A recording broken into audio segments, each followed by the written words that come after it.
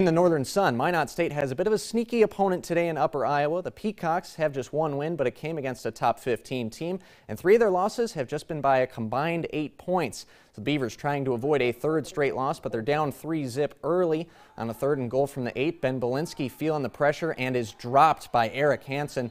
MSU can't get on the board.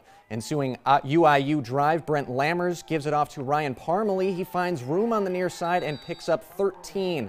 And that would lead to this 35-yard field goal try from Jonathan Argueta Herrera. He splits the uprights to make it 6-zip. And they would add another three as we jump to the second. Beavers trying to spark the offense, but instead it's an interception. Beavers can't find a rhythm, and they fall 44-9. UMary also losing on the road today at Winona State 54-13.